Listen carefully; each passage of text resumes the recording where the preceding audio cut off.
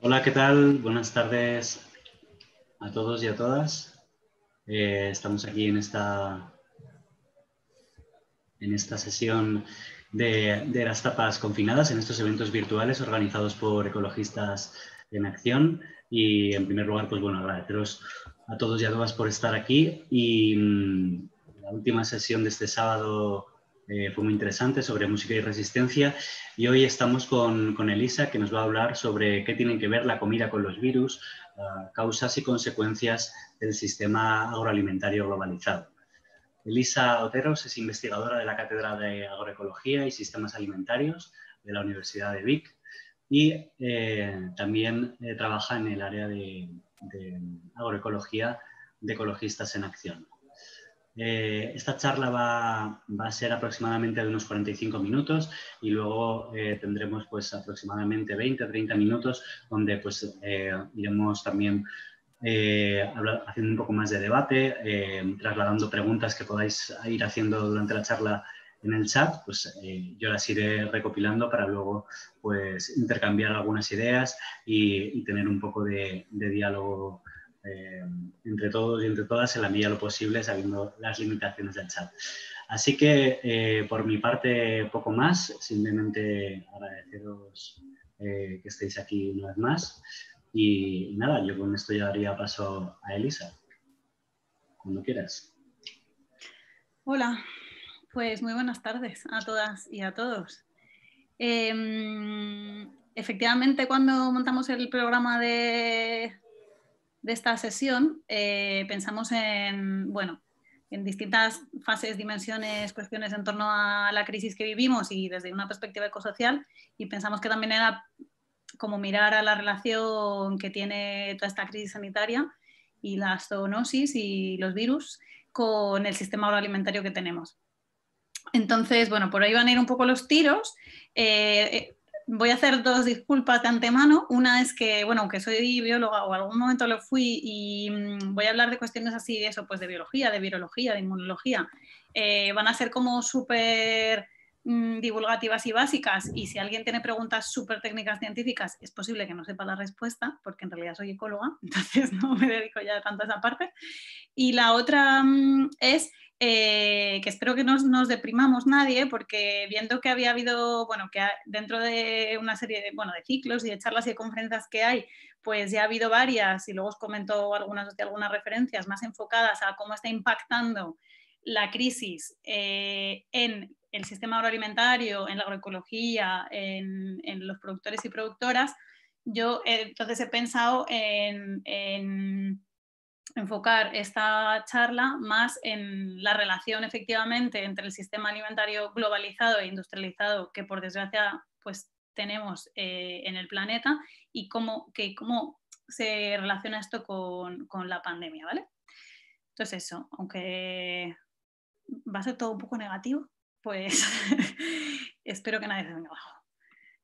Entonces voy a compartir mi pantalla y, y una presentación con vosotras. Aquí. Para que haga más fácil seguir la, la charla. ¿Se ve? ¿Sí? ¿Se ve, Alberto? Sí. Ok, vale. Pues, bueno, lo primero Vale, tengo que quitar esto, ¿no? Porque si me imagino que también lo veis aquí. Espero que así se vea. Vale. Bueno, eh, estamos en una crisis sanitaria, pero en realidad no es la única crisis eh, que tenemos, ¿no? Es una parte, es una pieza relativamente nueva de una crisis más sistémica o lo que he llamado también crisis matriosca, porque son muchas crisis anidadas unas dentro de otras, ¿no? Tenemos crisis social, una crisis económica, que viene del modelo económico, de la que en teoría ahora estábamos remontando, pero según para quién, una crisis social, cultural, de valores, eh, una crisis climática que sí que estaba tomando más protagonismo en la sociedad y una crisis ambiental, ecológica, profunda. Y una, todas estas están anidadas unas dentro de otras. Por eso es importante pensar todas estas matrioscas para pensar también en las soluciones que necesitamos eh, y en las causas de, lo que nos ha traído, del proceso que nos ha traído hasta donde estamos. Ay, y no puedo, a ver.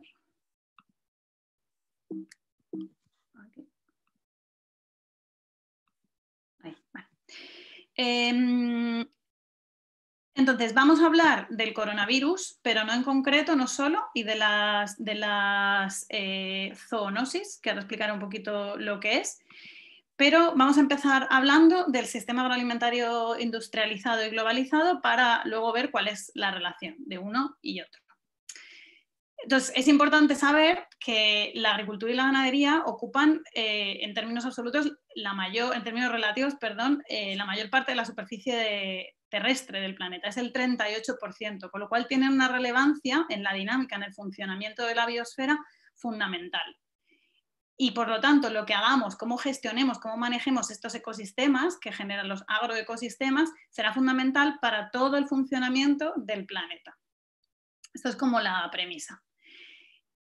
Además, evidentemente, lo que hace el sistema agroalimentario es poner en movimiento una serie de flujos de materiales y de energía a escala planetaria, porque efectivamente, desde, sobre todo desde el último siglo, la, dimensión que han tomado los sistemas agroalimentarios ha pasado de ser local, basada en los recursos que existían a escala del territorio más cercano, para estar basada, sobre todo gracias al uso de los combustibles fósiles y del transporte, en el comercio internacional y el intercambio de estas eh, materias, de alimentos y materiales entre zonas del mundo. Algunos ejemplos, por ejemplo, pues el uso del suelo, eh, en este mapa vemos el uso del suelo para producción alimentaria que se exporta y vemos cómo Europa es un importador neto de tierra, entre comillas, para eh, alimentación y otros, y otros usos, y en concreto de tierra agrícola eh, desde todo el planeta. Es decir, que estamos comiendo, por así decirlo, de otros territorios en gran medida. También esto se puede medir, hay, muchas medidas ¿no? que se han desarrollado en la literatura científica para visibilizar esto. Otra es la apropiación humana de la productividad primaria, que es lo que muestran estas, es como la energía la, que existe en los, en los ecosistemas y cuánto nos apropiamos los seres humanos y de esta parte cuánto está incorporado en el comercio de biomasa de productos entre la Unión Europea y otras regiones del mundo. Y como se puede ver, pues otra vez en Europa somos netos importadores de esta productividad primaria que tienen los ecosistemas, ¿no? Sobre todo, eh, y además como ha ido aumentando, sobre todo el flujo desde América Latina. También se puede ver en términos de, los cultivos y la ganadería donde se produce en cada, en cada zona del mundo. Entonces aquí vemos, por ejemplo, cómo China consume evidentemente tanto en términos de cultivos como en la ganadería de su zona, pero también su agricultura y su ganadería dependen de recursos de otras zonas del planeta, lo mismo con Estados Unidos y lo mismo con Europa. Es decir, que nuestros sistemas agroalimentarios, estemos donde estemos, están extremadamente interconectados. Y esto tiene mucha relación con el cambio climático. Ahora vamos a ver cómo y por qué. Para ello, de todas maneras, no me voy a parar mucho aquí porque es como todo un tema, pero podéis consultar un informe que hemos publicado hace unos meses en Ecologistas en Acción que se llama Agroecología para enfriar el planeta, que está disponible en nuestra web. Igual podemos poner el enlace por ahí en el chat por si alguien lo quiere descargar y ahí está todo mucho mejor explicado. Pero básicamente sabemos que el cambio climático tiene una serie de consecuencias, ¿no? influye en la pérdida de biodiversidad y esto pues, tiene que ver con la modificación de las áreas de distribución, de los comportamientos, de la abundancia también de especies silvestres, influye en la erosión del suelo, en la desertificación, también en el aumento de la frecuencia y de la intensidad de eventos extremos como bueno, olas de calor o inundaciones, la alteración de la disponibilidad del agua, no solamente para agricultura, pero también y, impactos sobre la salud. Y de hecho, de hecho, luego veremos qué relación tiene también todo esto con las zoonosis y por tanto también las pandemias como la que estamos viviendo. Eh, y ahora veremos qué relación en términos numéricos tiene el sistema alimentario industrializado y globalizado con el cambio climático. Pero antes quería pararme un momentito eh, en apuntar que todo esto que vemos en gráficas, en mapas de, de materia, de energía, de emisiones y de tal, en realidad es fruto de un sistema antrópico, de un sistema social. Por eso esta nueva era geológica en la que vivimos se ha dado a llamar el antropoceno o también el capitaloceno. Eh, y, en concreto, encima, de que tenemos este sistema tan intensificado, eh, seguimos teniendo grandes bolsas de hambre en el mundo. Bueno, según Naciones Unidas, por ejemplo, el dato de 2017 era que había 821 millones de personas que sufren hambre en el mundo y que se había incrementado. Una de cada nueve personas en el mundo pasa hambre, que es una proporción brutal. Y las estimaciones dicen que estos números van a aumentar, de hecho hay zonas donde ya están aumentando hasta llegar a 600 millones de personas eh, solamente eh, sufriendo malnutrición por el cambio climático. En concreto, ¿por qué se queda la gente sin comer o por cómo influye en, la falta de acceso a los alimentos por parte de la gente del cambio climático? Pues porque incrementa la competencia entre usos del suelo o entre recursos como el agua. Es también una de las causas de conflictos bélicos genera muertes directas y genera eventos catastróficos que también afectan a muchas de estas personas y por lo tanto lo que vemos es que quienes menos han contribuido a generar el cambio climático, porque son quienes, son quienes menos han eh, contribuido a la emisión de gases de efecto invernadero, en cambio son quienes sufren las consecuencias antes eh, y en mayor medida. Son más vulnerables frente a eventos extremos en algunos casos y esto tiene repercusiones además porque su vida está más basada en actividades de subsistencia. Pero lo más curioso de todo esto, además, es que en realidad sí que tenemos de alimentos suficientes eh, para satisfacer las necesidades de alimentación de, hasta una vez y media la población que hay en el planeta. Esto lo dice la FAO, que es una experta en contradecirse a sí misma, porque a la vez sigue instando a producir más. Estamos en este sistema alimentario industrializado porque en gran medida hay una serie de políticas también que apoyan esa industrialización y siguen incitando a que, como va a ir aumentando la población humana, hay que aumentar la, producción de alimentos para poder satisfacer esa demanda. Cuando en realidad sabemos ya, y también hay una serie de, estudios científicos que, lo prueban, que existe suficiente alimento para todo el mundo y lo que tenemos son problemas de distribución, de justicia y de, equidad social en el acceso a los alimentos y a la producción de los mismos. Entonces, claro, esto es un poco surrealista, ¿no? Porque por un lado tenemos todas estas políticas eh, internacionales que hablan de sostenibilidad, los objetivos de desarrollo del milenio, ¿no? Todo dice, bueno, eh, los objetivos de cambio climático, todo esto, pero a la vez tenemos que reactivar la economía. Ahora parece que esta viñeta del roto está más vigente que nunca, ¿no? O sea, hemos visto cómo mejora la calidad del aire, cómo hay una serie de impactos positivos por el frenazo económico, pero a la vez tenemos que reactivar la economía. Eh, y por lo tanto tenemos que consumir más, ¿no? Y estamos como en este bucle mm, encerrados, atrapados. Y entonces ahora volvamos un poco a ver esta conexión de estos sistemas, eh, una vez que hemos visto cómo funcionan los sistemas sociales que incentivan y permiten, hacen posible, sustentan este sistema alimentario industrializado, vamos a ver desde el punto de vista biofísico qué impactos tienen. Y las dos dimensiones fundamentales de estos impactos son, como venía diciendo, el cambio climático y de la mano, porque son, están inextricablemente vinculados, los cambios de usos del suelo. De hecho, no se entiende el cambio climático sin estos eh, cambios de usos del suelo. ¿A qué nos referimos cuando hablamos de esto? Nos referimos a toda aquella territorio, suelo, superficie que estaba, eh, que tenía cumplía unas funciones, tenía un, ecosistema y se ha visto transformado por acción humana. Ahora veremos algunos ejemplos. estos cambios alteran el funcionamiento del ecosistema de manera que puede contribuir a la emisión neta de gases de efecto invernadero, deteriorar, los suelos, no solamente deteriorar la función de regulación del clima que tienen los ecosistemas, sino muchas otras funciones, incluida aquellas que nos abastecen de alimentos, incluso la propia capacidad de los ecosistemas de seguir sustentando nuestra, nuestra propia vida. Es decir, que estamos un poco como mordiendo la mano que nos da de comer. Ahora veremos cómo, ¿no? Y, y, esto se ha reflejado muy claramente en esta investigación de Rockstrom y compañía, en el que hicieron una evaluación para ver de los límites, bueno, vivimos en un planeta finito, ¿no? Pues de estos límites planetarios que existen, ¿cuáles hemos superado ya? Y clarísimamente estamos muy cerca de superar prácticamente todos, pero sobre todo la pérdida de biodiversidad y la alteración de los ciclos del fósforo y del nitrógeno son los más escandalosos.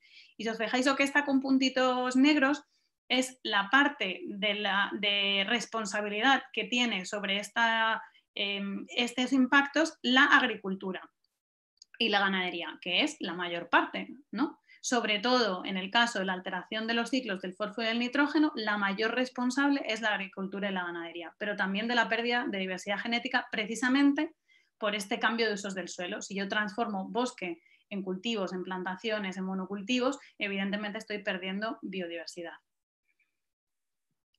Em, ¿Esto cómo se traduce si en algunos números en términos de cambio climático? Bueno, pues según el, último informe de tierra del IPCC del año pasado, el, IPCC es el panel intergubernamental de cambio climático, un conjunto de varios miles de investigadores de todo el mundo auspiciados por Naciones Unidas. según esta gente, el 24% del total de las emisiones antrópicas se corresponde a la agricultura, la silvicultura y usos del suelo relacionados y un 14,5% de las emisiones antrópicas, eh, dos tercios de las agrarias, se achacan en concreto a la ganadería. Eh, entonces, haré un poco hincapié a lo largo de la charla en determinados aspectos en concreto de la ganadería, tanto por la relación con la zoonosis, claro, como por, esta responsabilidad en, en, el cambio climático y en la transformación, en los cambios de usos del suelo. Eh, aquí hago un paréntesis, ahí pone que hay un problema metodológico, bueno, porque en estas emisiones no están incluidas además las derivadas de la fabricación y distribución de insumos, el procesado, el envasado, y además tampoco están incorporadas eh, la em, contabilidad del almacenamiento o secuestro de carbono en concreto en suelos de pastizales y de ecosistemas que están mantenidos por la ganadería. Entonces aquí hay controversia, pero bueno, no voy a abrir este capítulo. Eh, el caso es que la mayor parte de las emisiones históricas eh, que se asignan al, sector agroganadero eh, están asociadas a los cambios de usos del suelo, por deforestación y por la roturación de tierras para expandir la agricultura y la ganadería.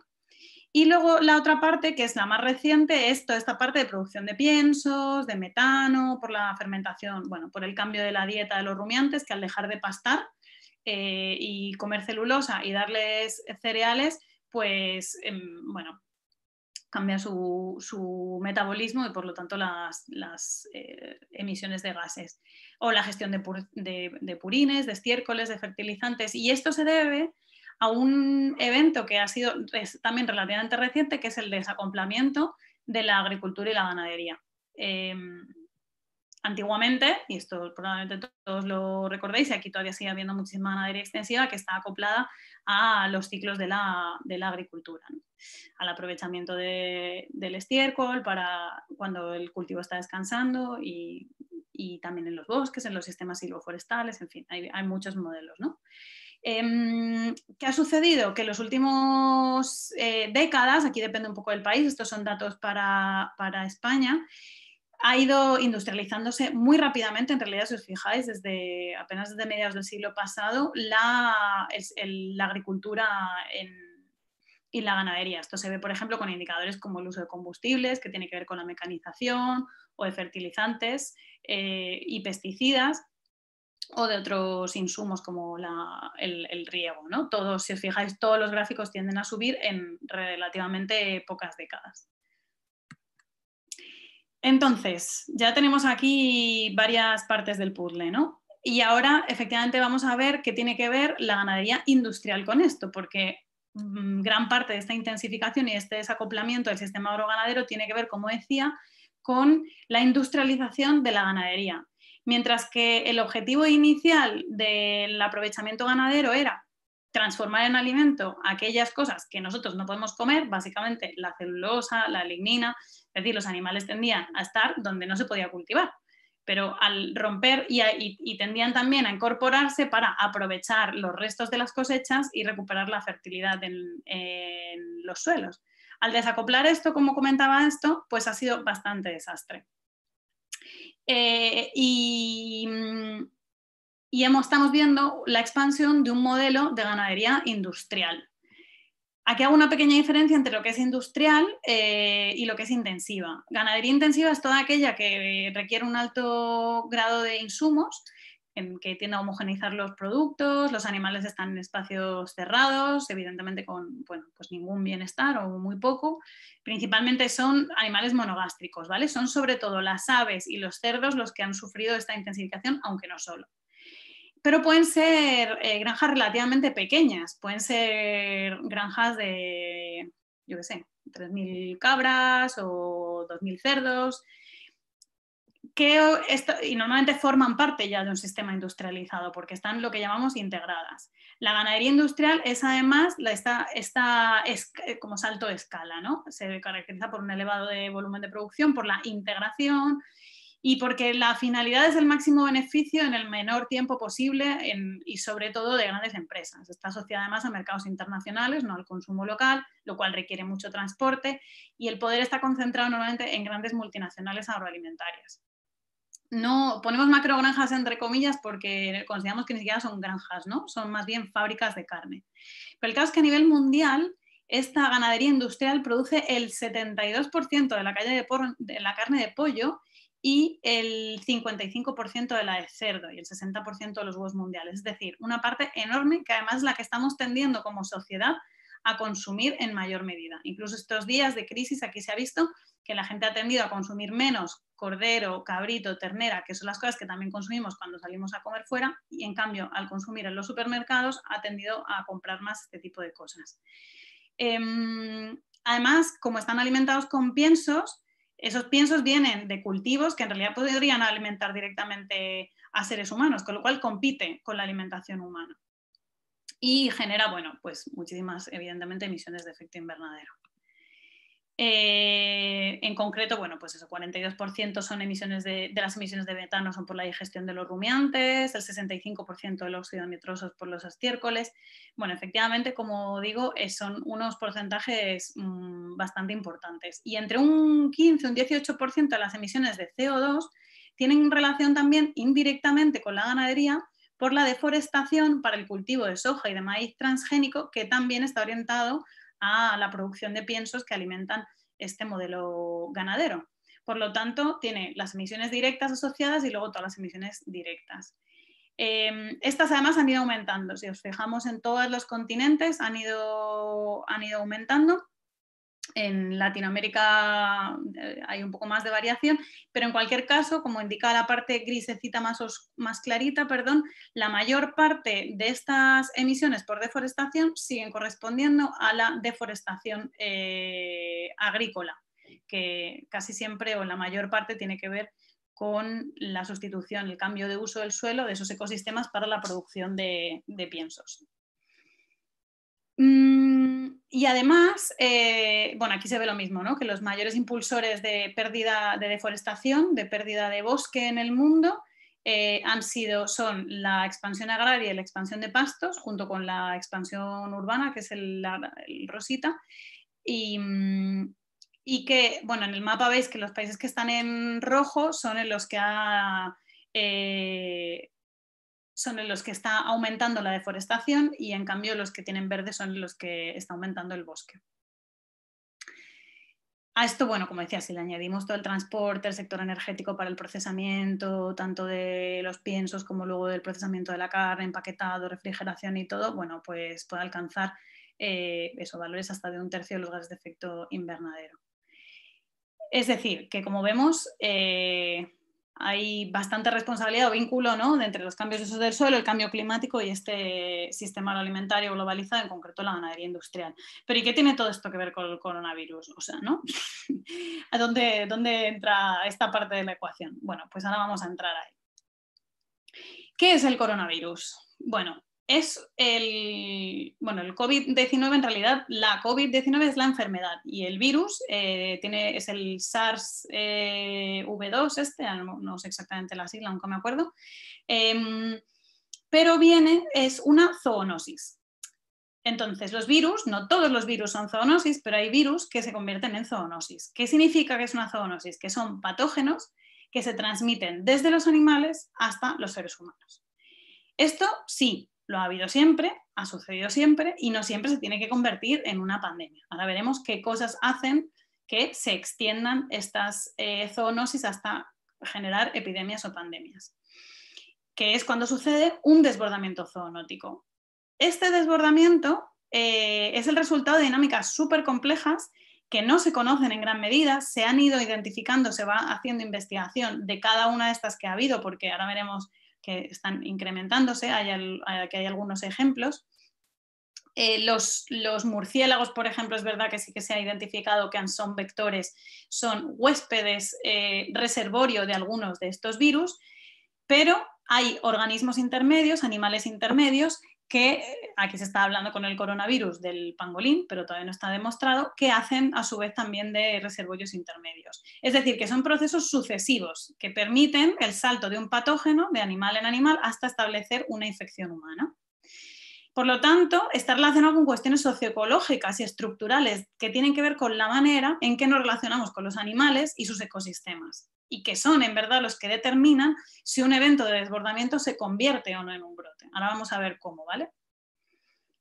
Es decir, esto es importante porque también han circulado como muchas mm, noticias, informaciones echando la culpa a los animales y en realidad es importante saber que el hecho de que, de que haya un brote o un desbordamiento zoonótico tiene más que ver con nuestro comportamiento como sociedad que no tanto con el funcionamiento de los ecosistemas. Pero ¿qué son las, eh, bueno, qué más son las zoonosis? ¿no? ¿Qué más podemos saber de ellas? Bueno, eh, a nivel cuantitativo, el 60% de las enfermedades infecciosas en humanos son zoonosis, vienen de animales. Y el 75% de las eh, emergentes, o sea, de las nuevas, de las que están apareciendo, son zoonosis. Es decir, que efectivamente es presumible que en el futuro vayan apareciendo cada vez más. Ahora vamos a ir viendo por qué nos lo estamos trabajando para que así sea, por desgracia. Mm, ah, no, está aumentando, como os comentaba antes, además mm, muy rápido o, bueno, significativamente en los últimos décadas. Y esta es una gráfica que lo muestra con algunos ejemplos de, vectores. En el eje vertical está el nombre de el número, la frecuencia de los eventos de enfermedades infecciosas. Y veis que eso, que ha ido aumentando, el pico de los 80 coincide con la pandemia del VIH, que fue especialmente virulenta. Pero hay muchos ejemplos, este es el de la fiebre hemorrágica de Crimea-Congo, de Crimea-Congo, el ébola, que fue reciente, em, la fiebre de Lassa, otros coronavirus, el MERS, el, el SRAG de Nipah, en fin, hay el virus del Zika, que también aquí se ha oído bastante. Y tanto es así, hay tantos y se están estudiando tan intensamente porque se les teme bastante que incluso la, propia Organización Mundial de la Salud en sus modelos y sus investigaciones habla en genérico de una enfermedad X, porque no se sabe todavía, pero se asume que vendrán más zoonosis que darán lugar a enfermedades infecciosas emergentes. Entonces ya se trabaja con ellas, se trabaja con la realidad de que sin saber cuál es ni cómo va a funcionar, va a existir, para que nos hagamos una idea, ¿vale? Además, eh, bueno, está aumentando también, si os fijáis en, la gráfica de abajo a la izquierda, la resistencia de, las, eh, de estas enfermedades a las drogas, a los medicamentos que tenemos. O sea que cuando a veces decimos, bueno, tampoco pasa nada porque cada vez las farmacéuticas desarrollan más medicamentos, tendremos vacunas, en realidad va más rápido la naturaleza con su ingeniería de la que van nuestras farmacéuticas, incluso con todos los intereses económicos que tienen detrás. Eh, bueno, aquí hay algunos datos de la propia de, Naciones Unidas de, los, del impacto de algunas de estas de las más recientes, como el, anterior SARS o el ébola, e incluso de las pérdidas económicas que han tenido. La gripe aviar, eso pues llegó a pérdida de 20.000 eh, millones de dólares. O sea que no es ninguna broma. Y de lo que se habla es que en realidad es un conjunto de factores lo que subyace a todas estas enfermedades infecciosas. Tienen que ver, como decía antes, con nuestros comportamientos humanos, pues desde, por ejemplo, los viajes ¿no? y la movilidad internacional de las personas, la urbanización, la manipulación biomédica, las tecnologías y la industria, tiene que ver, como estamos hablando, con la agricultura y la intensificación, los animales domésticos, y tiene que ver también con el propio funcionamiento y la perturbación del funcionamiento de la fauna silvestre. Ahora vamos a ver cómo en concreto, ¿vale? Pero es un continuum de, y, una, y un entramado muy, muy complejo y difícil de desenmarañar el de factores que influyen en la emergencia de estas enfermedades infecciosas. Entonces, esta parte igual es así como la que es un poco más densa de, entender, pero yo creo que es súper interesante, ¿no? Entender de dónde vienen los... qué tiene que suceder hasta llegar a una pandemia como la que tenemos. Bueno, la probabilidad de que se dé uno de estos desbordamientos zoonóticos está determinada por distintos factores, como decía, y se clasifican en, como en tres fases. La primera es todo aquello que tiene que ver con eh, la presión que ejerce el patógeno, ¿vale? Nosotros tenemos en la naturaleza los animales, que son los que están arriba del todo, que son el reservorio huésped, y estos pues tienen una distribución, una densidad, pueden tener mayor o menor carga vírica, pueden tener, ¿no? La intensidad de la infección que tienen puede ser diferente. Todo esto influye en la cantidad de patógeno que pueden llegar a transmitir. Y luego además también hay como distintas vías a través de las cuales se transmiten estos patógenos. Básicamente se, clasifican en tres, que son a través de las excreciones, de los tejidos muertos después del sacrificio o de vectores, como los mosquitos o las garrapatas. Entonces, el grado en que el patógeno se libera desde el, reservorio huésped y el grado de su supervivencia, de desarrollarse, de, de reproducirse y de diseminarse, todo eso son factores que influyen en la presión que puede llegar a ejercer el patógeno. ¿vale? Este es el primer nivel. El segundo nivel es la dosis y la ruta por la que nosotros, los seres humanos, nos vemos expuestas a este patógeno.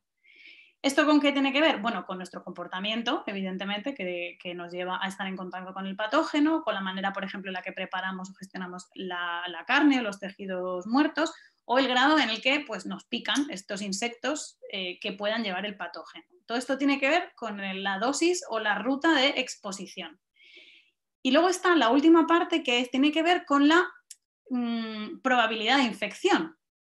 Es decir, podemos estar muy eh, expuestos, tener una dosis muy, muy alta cerca, pero podemos hacer cosas que son las medidas que nos están recomendando, por ejemplo, ahora, para evitar o para, sí, para evitar la infección o por lo menos disminuir la probabilidad de infección. Por ejemplo, barreras estructurales como las famosas mascarillas o las propias respuestas inmunitarias que tenemos, la propia creación de nuestros anticuerpos cuando somos infectados es también una respuesta que disminuye la probabilidad de infección. De hecho, ha habido gente que ha dado positivo que no ha desarrollado la enfermedad, hay síntomas al menos, ¿no?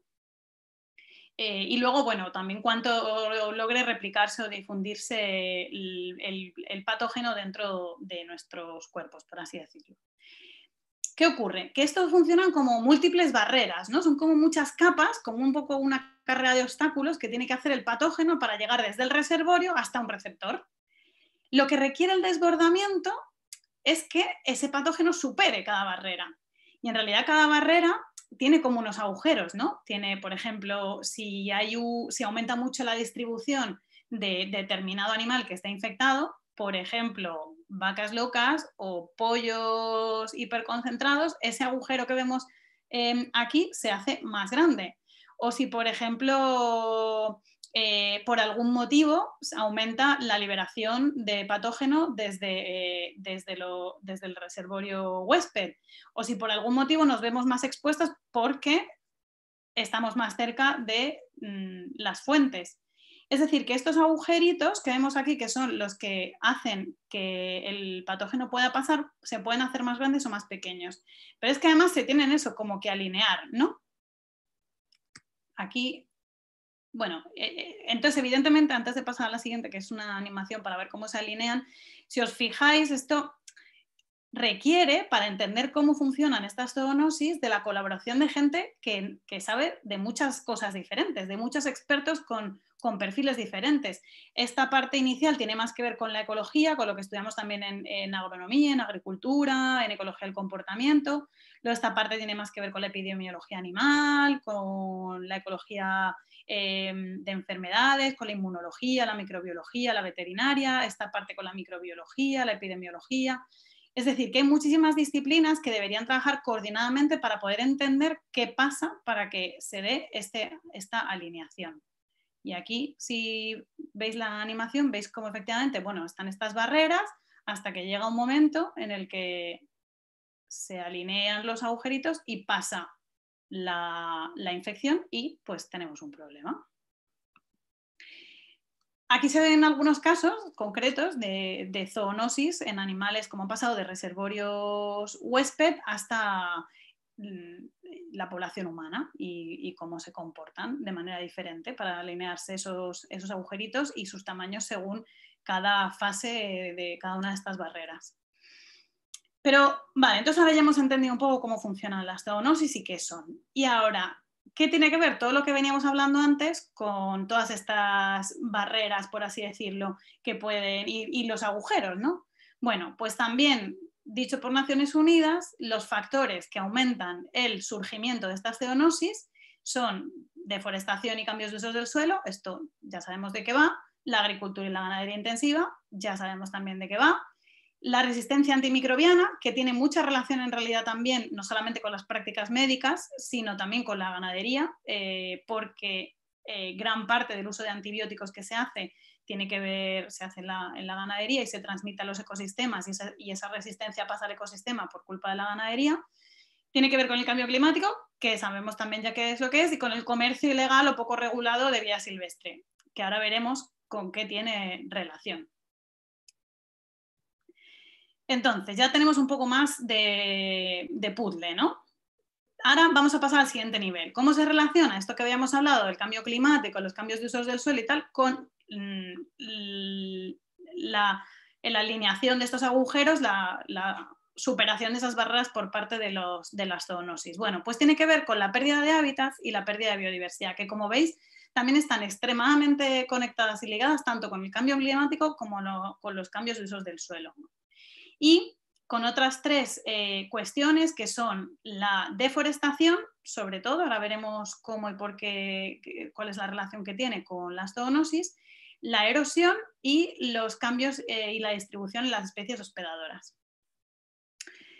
Respecto a los cambios del suelo y la deforestación, bueno, pues se ha visto, ahora vamos a hablar del cambio climático en concreto y de los microclimas y de la biodiversidad y de la pérdida de salud inmunitaria. Vamos a ir viendo de estos eh, uno por uno. Pero la primera que quiero que pensemos es cómo al modificarse los hábitats se alteran la distribución de las especies obliga a, cambiar también los patrones migratorios. Esto se ha visto mucho en las aves, que además son buenos huéspedes. ha habido varias de estas zoonosis que han pasado por huéspedes que son aves. Aumenta la movilidad de especies Em, entonces, bueno, de alguna manera altera por lo que llamamos la ecología, ¿no? el funcionamiento dentro del ecosistema de estos vectores, de estos, que son, de estos animales que transmiten la zoonosis. Y también aumenta la frecuencia de contactos, porque si disminuimos su hábitat y se tienen que concentrar en menor superficie, evidentemente aumenta la frecuencia de contactos y esto es estupendo para la propagación de los virus y bueno, y de las, eso de las zoonosis. Em, pero hay dos elementos que tienen, eh, en los que la naturaleza nos puede ayudar. Esta es una de las cosas que ha explicado, no sé si habéis visto y si no os lo recomiendo mucho, un vídeo que ha hecho em, Fernando Valladares, que es investigador del CSIC, que tiene varios artículos también, una web bastante completa, y él habla de dos eh, em, factores muy importantes que pueden ser, que son en realidad la vacuna que nos da ya la naturaleza frente a estas zoonosis. Uno es el efecto de dilución de la carga vírica, em, y es que a mayor diversidad, a escala de comunidad, ¿vale? a escala de, ecosistema, se da mayor dilución de eh, los patógenos a través de distintos mecanismos, ¿vale? Por ejemplo, a través de la predación. Si un bicho se come a otro, controla la población, ahora veremos un ejemplo, y entonces eh, disminuye la probabilidad de que se concentre mucho patógeno en una misma población. Eh, a través del hiperparasitismo o de otras eh, interferencias físicas. A mayor diversidad genética, está también comprobado que hay mayor probabilidad del desarrollo de resistencias, con lo cual de que el propio cuerpo genere inmunidad. Por eso también se está viendo y se prevé que en la medida en la que ahora el COVID se expanda, vaya bajando su virulencia, porque se va, los cuerpos van desarrollando mayor resistencia. Em, y luego hay otra cuestión también importante, que lo veis ahí en los grafiquitos de la derecha, es que eh, en los ecosistemas que tienen mayor diversidad es donde hay menor, em, menor grado de, infección, por así decirlo. Lo que, no se, lo que se conoce menos o depende más de la de función y, el, eso, el funcionamiento, las características de cada especie, es esto que llaman los, caracteres los de, de, cada especie. Ya hay comportamientos diferentes. Pero sí se sabe que cuanto más, em, cuanto más infeccioso, bueno, yo creo que ya está claro, no, no voy a liar más. Y em, esto es interesante también porque lo vemos en un, en, un, en un, mapa del mundo. Y es decir, que cuando se hacen modelizaciones, que también hay unas cuantas, de la emergencia de las enfermedades infecciosas emergentes y dónde se han dado las últimas, podéis ver que se dan aquellos lugares donde hay menos diversidad, menos riqueza. Y esto es lo mismo, y, esto tiene que ver, entonces lo relacionan con la latitud. En los lugares más, eh, como a mayor latitud, el efecto de, dilución es menor, porque tenemos menos diversidad, menos riqueza, en realidad, ¿vale? O sea que los diluyentes, por así decirlo, eh, aumentan con la latitud. Por eso hay zonas del planeta que es especialmente importante también cuidar, incluso por este, por este sentido. Esto es lo que comentaba antes del otro efecto, que es el de amortiguación del contagio. En un sistema rico, con diversidad, ningún hospedador sufre una explosión de la población, porque hay interacciones interespecíficas que se van controlando. Este es el ejemplo clásico del lince y el conejo, cómo se van eh, acoplando sus especies según el lince se va comiendo al, al conejo y se va regulando. ¿no? Eh, el otro elemento que veíamos en el, en el esquema de antes, la erosión. También está comprobado ya que el polvo, las partículas en suspensión, sirven como vehículo de transporte para eh, los patógenos. ¿Esto qué significa? Que en un escenario en el que sabemos que la agricultura está contribuyendo enormemente a la pérdida de suelos, a la erosión y el cambio climático también, es una de esas cosas que también se retroalimentan, ¿no? la erosión con el cambio climático, la pérdida de suelos, cuanto más tengamos eh, erosión, más polvo tendremos y, peor, y mayor será la probabilidad de que en estos polvos que viajen, este polvo en suspensión en la atmósfera que viaja, viajen también eh, patógenos.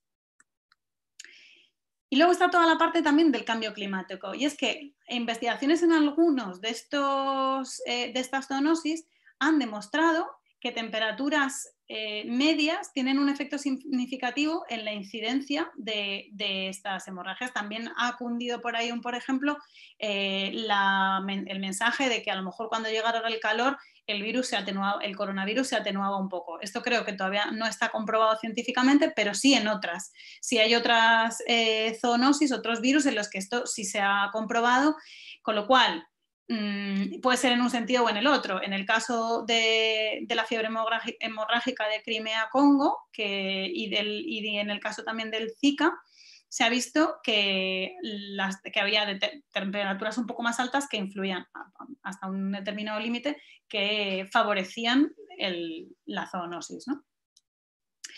Y también eh, el deshielo, tanto los glaciares como el permafrost, nos está enseñando que están surgiendo nuevos virus que estaban atrapados, congelados en, en este hielo o en esta, en esta materia orgánica y que al descongelarse se liberan. Son desconocidos y evidentemente no tenemos resistencia frente a ellos. Con lo cual es una manera más en la que el cambio climático eh, influye, eh, puede incentivar la, aparición de estas zoonosis. Y también, evidentemente, como el cambio climático, hemos visto, influye a su vez en la distribución de los ecosistemas, ¿no? pues baja, pues, bueno, disminuyen los hielos, suben las fronteras hasta las que llegan los árboles, las especies también cambian.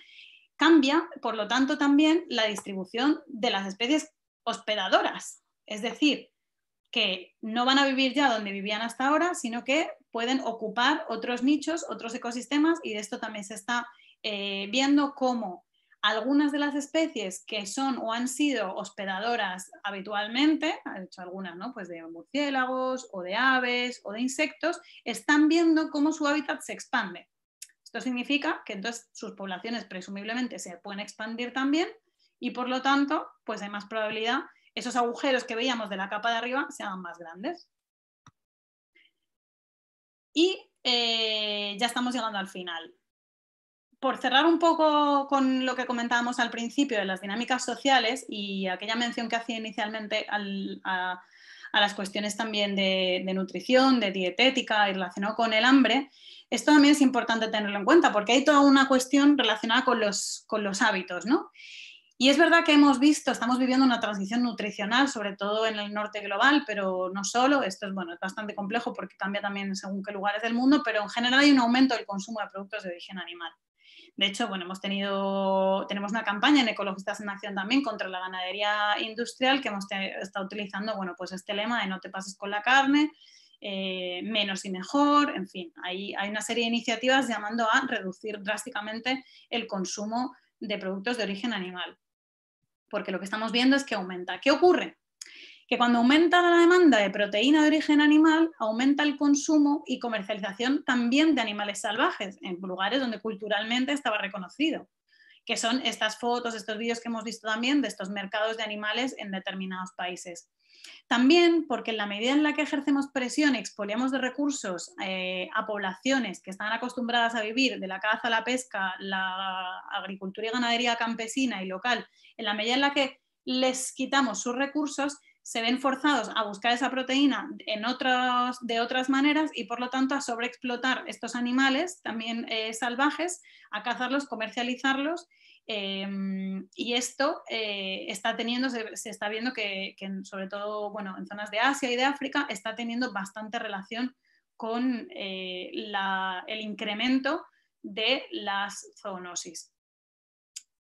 Si a esto le añadimos que además ahora nos movemos todos muchísimo más, porque evidentemente ¿no? la pregunta sería, bueno, pero toda la vida la gente ha criado sus animales y ha estado muy cerca de ellos también, eh, aquí la gente tenía, ¿no? Y sigue teniendo a veces, bueno, ya no tanto, pero mm, los animales, las vacas o los bueyes en la parte de abajo de la casa o el gallinero en el huerto. Hemos vivido y vivimos en todo el mundo muy cerca de los animales y ¿por qué no ha, no ha sido un problema hasta ahora? Bueno, ha podido ser un problema en el sentido de que saltara a una persona y muriera de una determinada gripe sin que se supiera, pero el problema es que ahora estamos muchísimo más conectados y nos movemos más. Ahora ya no hay zonas prácticamente aisladas en el mundo. Hay eh, turismo, hay movimiento urbano-rural, hay personas que migran del, rural al, urbano y mantienen la conexión. Hay muchísima más movilidad, que es lo que ha hecho probablemente también que se facilite eh, la dispersión de estas zoonosis. Bueno, el ébola, por ejemplo, y el, SRAG son de los que se ha visto que, están relacionados con el consumo de animales salvajes que están infectados, ¿vale? Pero claro, tú puedes ingerir un, un animal que tenga uno de estos patógenos, pero también, como hemos visto antes también en el esquema de las barreras, que esto llegue a convertirse en una enfermedad para ti y que tú la puedas transmitir de humano a humano, tiene que ver también con la salud, ¿no? Con cómo tengo yo mi sistema inmunitario. Y digo yo por decir la última parte del eslabón de esta mm, cadena, ¿no? de, esta, de esta torre de barreras que habíamos visto, pero esto vale también para la salud inmunitaria que tienen otros vectores intermedios, otros hospedadores intermedios. Y esto entonces os sonará. Al caso de los animales, por ejemplo, ¿qué pasa en la, ganadería industrial? Bueno, pues, y de hecho se ha visto mucho de las últimas gripes que ha habido, eh, que de hecho han hecho perder miles de millones de, bueno, han hecho pues que ha habido que sacrificar y perder muchísimo dinero en Asia, han sido las gripes aviares y gripes porcinas, que son precisamente la ganadería que está más industrializada, los animales que están más hacinados. Hacinamiento significa estrés malas condiciones sanitarias también en mercados de animales vivos, como estábamos diciendo, los cambios de hábitat y clima, todo esto influye en el sistema inmunitario de los animales, les bajan las defensas. Lo mismo que nos bajan a nosotros. El herpes zoster es el típico ejemplo, ¿no? Si tú tienes un, herpes, pero estás bien, te cuidas, pues no te tiene por qué salir. En el momento en el que te bajan las defensas, por contaminación, por malnutrición, por estrés, por malas condiciones sanitarias, lo que sea, pues te sale el herpes, ¿no? El herpes da, la cara, se desarrolla. Aprovecha que no tiene esa resistencia, esa defensa. ¿Qué nos espera entonces en el futuro? Pues como yo creo que se intuye un poco, es extremadamente difícil de saber porque son tantos, tantos, tantos factores que es muy difícil saber de dónde vendrá el próximo brote o cuándo será. Pero lo que sí sabemos seguro, y de hecho ya se está trabajando en todos los organismos internacionales con esta hipótesis, es que, van a seguir, va a seguir habiendo brotes y enfermedades epidémicas, que cada vez hay más, que son emergentes, que cada vez son más frecuentes y que a medida que el clima continúe cambiando, se lo estamos poniendo todavía más fácil. Con lo cual, bueno, pues es bastante preocupante. Así a nivel de mensajes claro, entonces, ¿qué necesitamos? Bueno, necesitamos tomar conciencia que este sistema agroalimentario industrializado en el que estamos y globalizado es una de las principales causas, tanto por vía directa como por todas las vías indirectas que hemos visto, de pandemias como la que estamos viviendo. Lo que comemos es muy importante, la comida es política, que la única alternativa posible, por lo tanto, es reconfigurar los sistemas alimentarios y que esto solamente se puede hacer, tiene sentido hacerlo para cambiar todo esto de lo que hemos estado hablando en base a principios agroecológicos, a la reterritorialización de los sistemas alimentarios, al acoplamiento, al funcionamiento de la biodiversidad y de los ecosistemas, a los ciclos cortos de comercialización. Todo lo que, lo que proponemos, lo que se propone a nivel, pues a todas las escalas, incluso a escala internacional, desde la agroecología. Y además que necesitamos más investigación con perspectiva sistémica, porque necesitamos gente que entienda de muchas de todas estas partes para poner todas las piezas juntas desde aproximaciones interdisciplinares para entender realmente con estas miradas complejas qué es lo que está pasando. Y yo por aquí lo dejo ahora y si queréis pasamos al, al debate. Vale, claro, pues, pues muchas gracias Elisa, ha, estado genial, ha estado muy interesante, eh, ha sido como un, ejercicio de, condensación elogiable, decían ahora también en los comentarios. Y nada, pues, un poco mi, contando ahora, resumo algunas preguntas que hemos, que hemos ido recogiendo del chat. Pero bueno, creo que, que, ha sido muy interesante como ha ido contando pues, la responsabilidad del sistema agroalimentario industrial a la hora de, de superar los límites biofísicos y el riesgo que ello supone y cómo la presión sobre los ecosistemas y la pérdida de biodiversidad está relacionada con, con ciertos procesos de, de zoonosis, ¿no? como comentabas también, pues esos ejemplos sobre la escala de la comunidad, el efecto de dilución, eh, los procesos de erosión y, cambio climático y cambios de usos del suelo y, demás. Creo que era muy gráfica y muy interesante también la representación gráfica que has utilizado para pues, mostrar esa eh, interrelación entre los diferentes procesos para identificar el sistema actual desde la perspectiva sistémica que ahora comentabas justo al final. Y bueno, luego creo que hay referencias muy interesantes. Ha sido muy interesante también la presentación.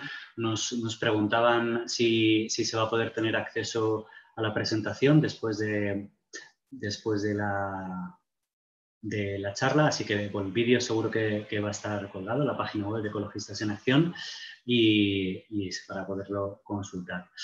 Y entonces, si te parece, te comento algunas, algunas preguntas que ha, habido, que he ido haciendo, las he ido agrupando un poco.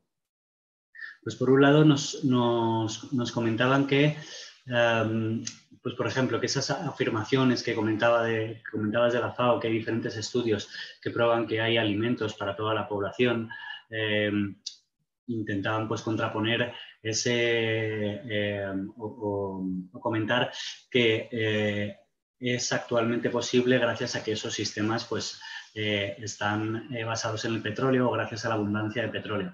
Creo que esto también está muy, muy relacionado con, con debates sobre la escasez y la abundancia de, alimentos y con pues, esa eterna pregunta un poco que tiene que ver con si se puede alimentar a todo el mundo desde la agroecología eh, y, y cómo, cómo, la agroecología pues, puede dar respuesta a esas, a esas preguntas.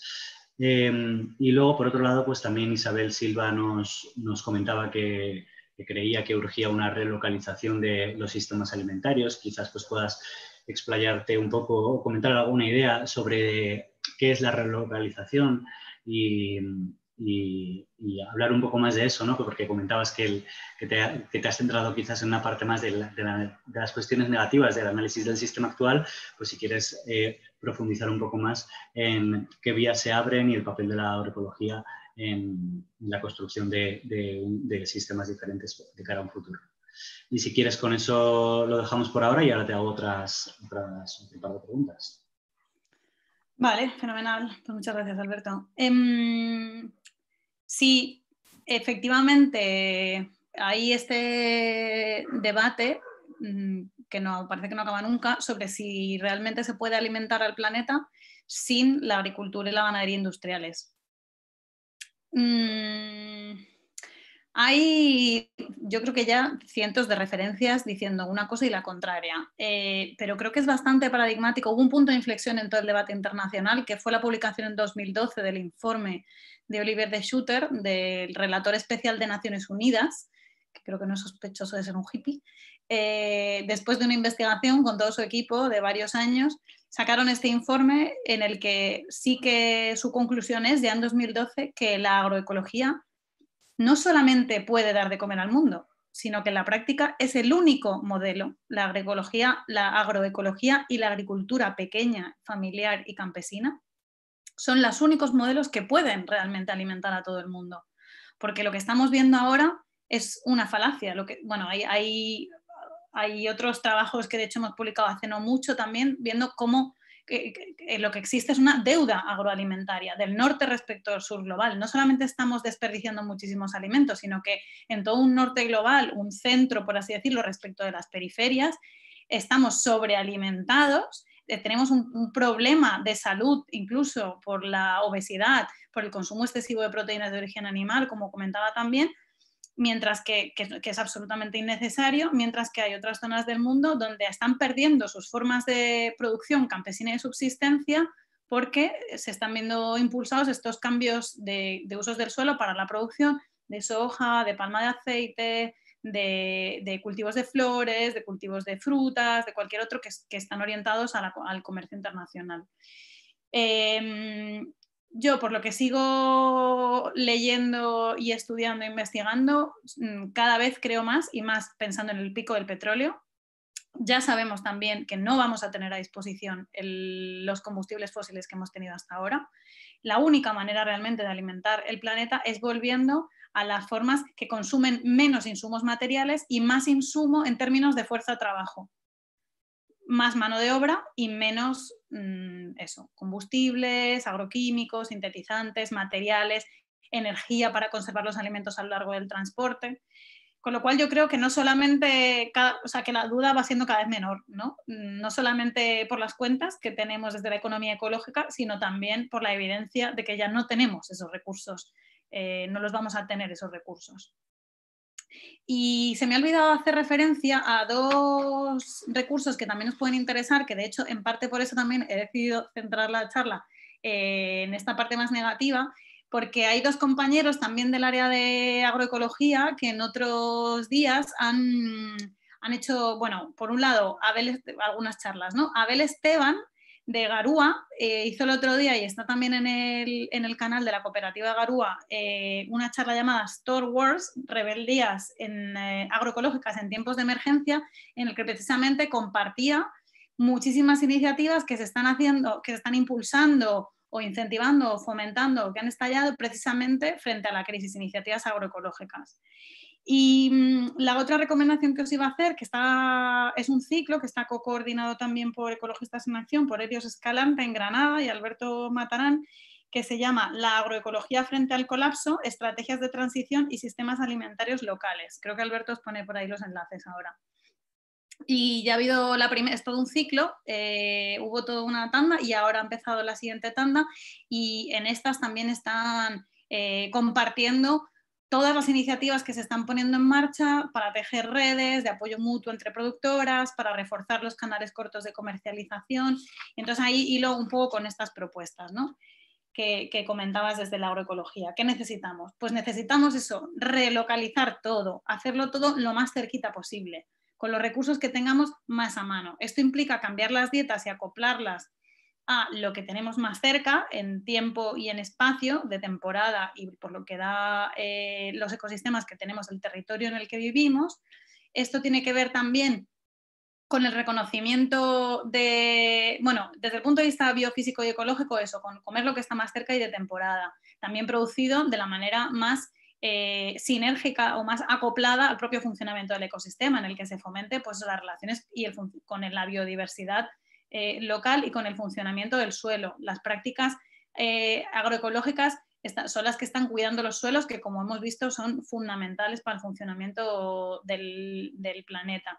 Es decir, que tiene que ver con un modelo productivo en lo agronómico que se mimetiza e imita el propio funcionamiento de la naturaleza.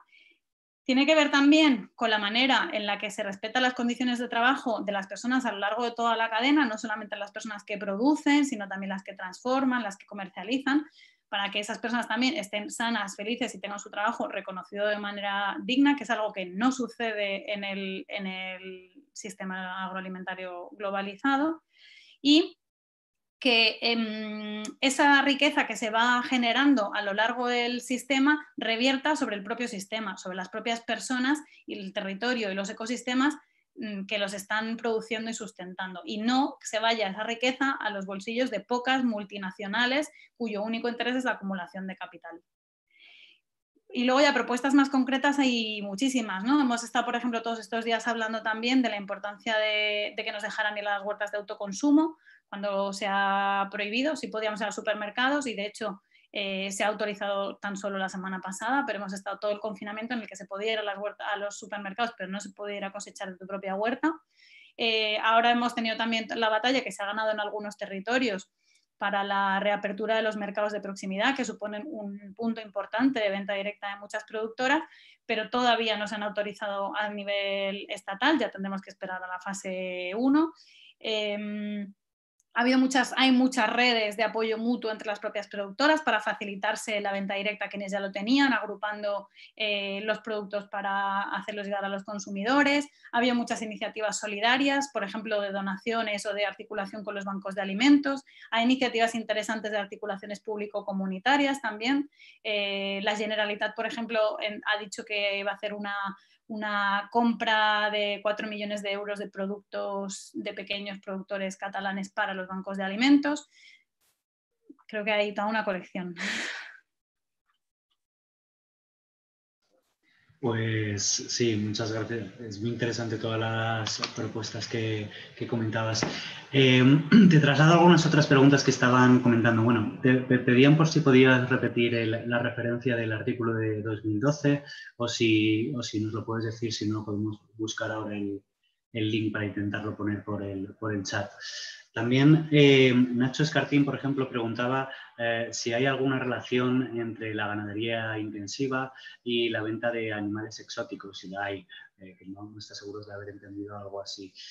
por otro lado, también se preguntaba, Charo, que el permafrost era un gran desconocido para la sociedad en general, pero que preguntaba si el IPCC y desde la comunidad científica se está estudiando su relación con la emisión de, gases de efecto eh, invernadero, también relacionado eh, con lo que comentabas de cómo eh, que se vayan derritiendo las capas congeladas, también está vinculado con la, emisión o que se vayan liberando virus que estuviesen atrapados en esas capas congeladas.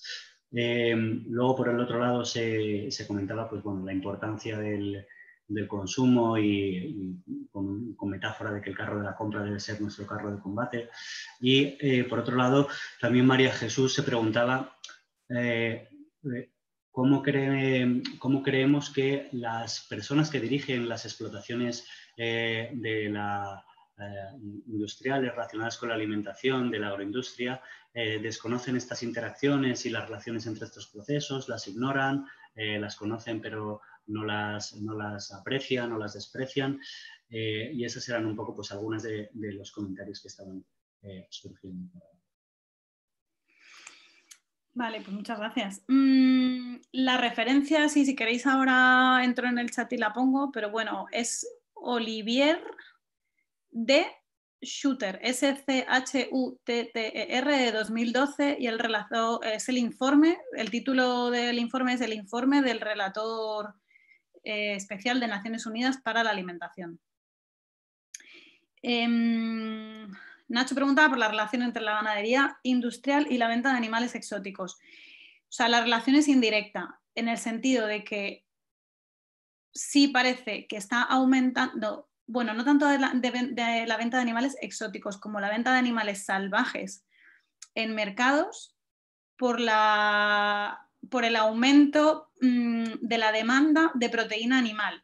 Creo que culturalmente esta transición alimentaria de la que hablaba está llevando eso, a aumentar la demanda de productos de origen animal y en muchos lugares culturalmente esto se asocia al consumo de animales salvajes que antes era pues quizás más esporádico, más también de autoabastecimiento, ¿no? más local y, se ha escalado y por lo tanto pues se ha llevado más a los mercados y hay más demanda de este tipo de, alimentos en los mercados, pero tiene que ver también eh, de manera indirecta con el expolio de recursos a muchas de estas personas. ¿no? En la medida en la que tú dejas de ser dueña de tu territorio, de tus recursos, dejas de tener soberanía alimentaria, que es en definitiva de lo que estamos hablando, y tienes que, acceder a tus alimentos a través del mercado y por lo tanto, eh, ¿y esto qué sucede? Que en gran medida este expolio de los recursos y de los territorios se está haciendo por culpa de estos, ¿no? de estos impulsores de cambios de usos del suelo, que es la demanda internacional de proteína animal que lleva en cascada esto, ¿no? la demanda de soja, de maíz,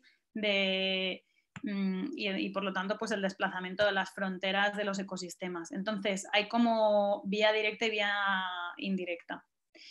Sobre el permafrost, sí, por lo que yo sé, aunque confieso que no me he leído todos los informes del IPCC, que son muchísimos y muy gordos, pero sí que es algo que se está investigando y sobre lo que también se hacen algunos modelos. Pero es bastante complicado porque efectivamente se desconoce mucho y se están llevando sorpresas de que en realidad se están batiendo todos los récords que ningún modelo había predicho.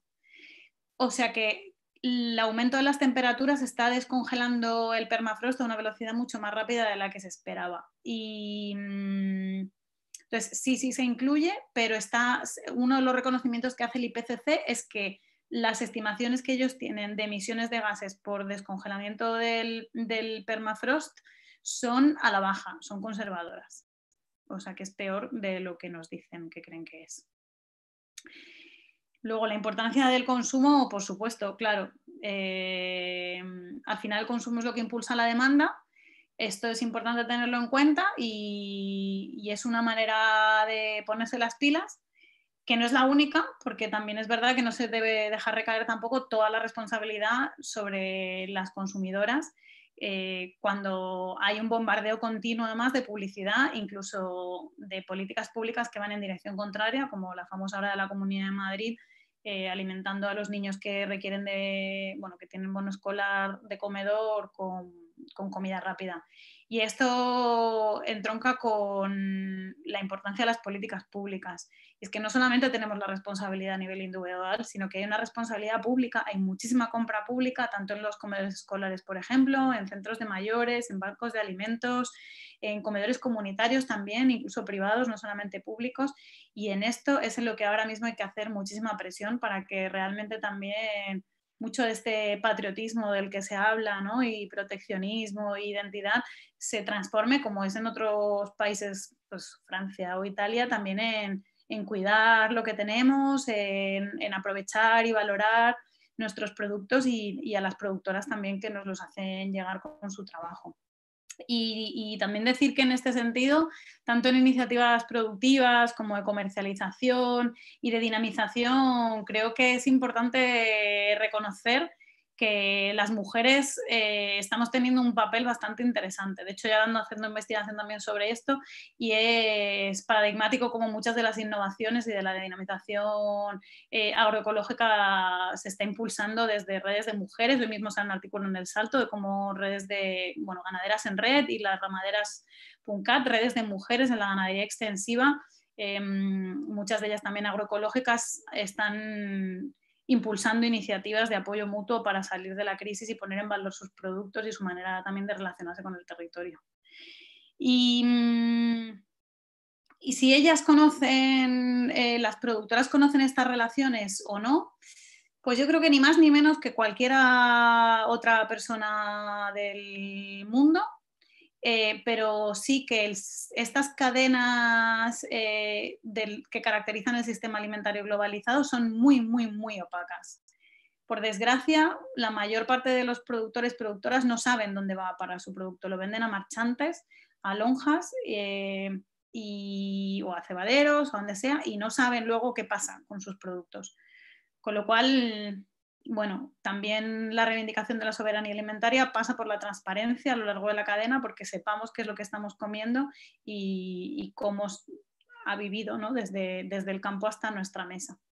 Así que bueno, yo creo que también cada vez hay más productoras que, que están haciendo también difusión, divulgación y, que sí que hay, bueno, una, toma de conciencia o una conciencia y una resistencia también, ¿no? Mm, por, por, parte cada vez de más. Y no sé si cerramos aquí o no sé si hay más preguntas. Pues sí, sí, hay algunas más, pero bueno, podemos, yo creo que tener un ratito para, claro, para una, última y, ya cerramos. Eh, entonces, pues eh, un poco al hilo de lo que, de lo que comentabas, eh, relacionado con, yo creo que con cómo se pueden revertir ciertas políticas públicas relacionadas con el consumo y la calidad de los alimentos. Eh, preguntaba Isabel que actualmente muchas políticas están orientadas hacia la ganadería industrial a través de subvenciones y ayudas eh, y que si creemos que, preguntan si, si, crees que pueden reorientarse hacia la agricultura extensiva y agroecológica y, pues también podemos reflexionar sobre eh, cómo podría, cómo podría. Pues sí, claro que pueden. Vamos, pueden y tienen que. Y además, en realidad, el, problema al final es una cuestión de relaciones de poder, es una cuestión de voluntad política y de, y de valentía y de poner por delante el interés común en lugar del interés privado, como en casi todo. No es muy original respecto a otros sectores. Y de hecho hay ejemplos, entonces yo creo que la demostración en realidad ya está ahí fuera, como hay iniciativas, ¿no? Las ciudades de la red de ciudades agroecológicas, eh, que por cierto en, la página web de la, red de ciudades agroecológicas también hay una recopilación que han hecho en estos días súper interesante de iniciativas agroecológicas en tiempos de crisis, que os animo a mirarla. Eh, ya están ahí estas propuestas políticas. Hace unos años, de hecho, en Ecologistas en Acción también, hace tres o cuatro años, publicamos un libro que se llama Arraigar las instituciones, políticas públicas desde los, agroecológicas desde los movimientos sociales, que está en la editorial de Libros en Acción, que tiene 30 capítulos escrito por gente de movimientos sociales, de universidades, de plataformas, de redes, de sindicatos, con propuestas muy concretas, con ejemplos muy concretos de diría que cientos de políticas públicas que se pueden hacer y, eso muchas de ellas ya se están haciendo en favor de, la producción y de los sistemas alimentarios agroecológicos. Y el problema es que efectivamente, bueno, pues esto no da de comer a una oligarquía poderosa, sino da de comer a la gente. Entonces es una lucha de David contra Goliat un poco, pero pues ahí vamos dando la batalla. De hecho, en relación a la ganadería industrial, como os decía, estamos también en, em, coordinados, formando parte de la plataforma Ganadería Industrial, que también podéis buscar por ahí, la página web de ecologistas hay materiales, de hecho, hay un folleto, hay un mapa ahora mismo también de resistencias vecinales de todo, en todo el estado, de gente, vecinos, comunidades que se están organizando para, resistir frente a la imposición de este tipo de, proyectos. Así que, bueno, ahí vamos, haciendo todo lo que podemos. Claro que sí. Muchísimas gracias a todas por las preguntas y por estar ahí aguantando la chapa. Sí, muchas gracias a ti, Elisa, y muchas gracias a todas por, participar y por estar eh, ahí escuchando eh, toda, la, toda, la, sesión y mm, todo el encuentro. Y nada, el, próximo sábado 9 de mayo tenemos el siguiente a las 6 de la tarde eh, de Ecología Histórica con un poquito de música con Miguel Clavero. Y, bueno, todos estos vídeos se van a ir subiendo a la página web de Ecologistas en Acción y allí podréis revisar todos estos materiales. Así que muchas gracias a todos y a todas por última vez y, nos seguimos viendo en nuestros encuentros virtuales. Un saludo.